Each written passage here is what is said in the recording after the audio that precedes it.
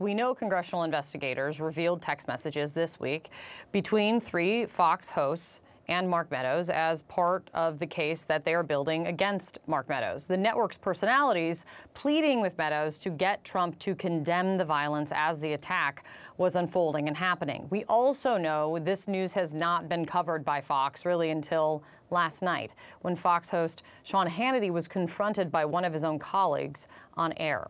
CNN's chief media correspondent, anchor of reliable sources, Brian Stelter, is here uh, with me now. Brian, what happened?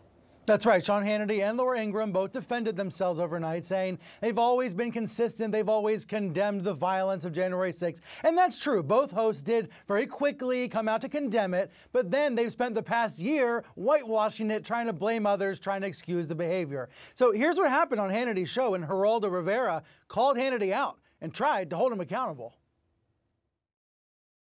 I beg you, Sean, to remember the frame of mind you were in when you wrote that text on January 6th, and when Laura did, and when Brian did, and when Don Jr. did. Remember the concern you had. Remember the the frustration you had at our, our beloved 45th president. Yeah, because Where I wanted? I wanted how, a riot how can he to be end. doing this? Why doesn't he say something?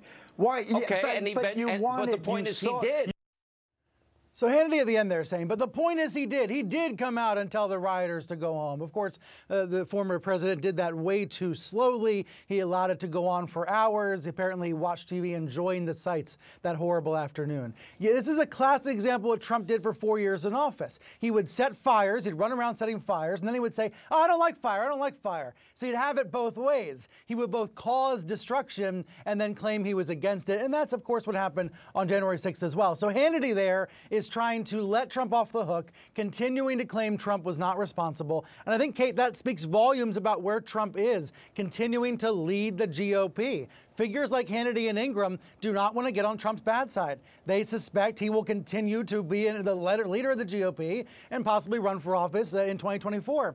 So you see these Fox hosts trying to cover up the past, even though they know just how horrible January 6 was. S.E., that's his colleague calling him out. What's your reaction? Well, I, you know, I have to wonder if Geraldo Rivera will be the next to leave Fox uh, because they, you know, they just don't take kindly to this kind of pushback. But listen, Sean didn't really clear up anything, and Laura uh, Ingraham said similar things, really defending themselves.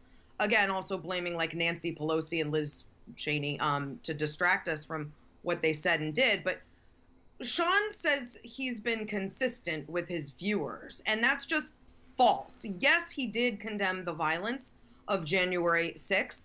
But he also spent the last 11 months saying Trump wasn't responsible and Trump supporters were not responsible. Well, that flies in the face of your text, which is saying make Trump do something.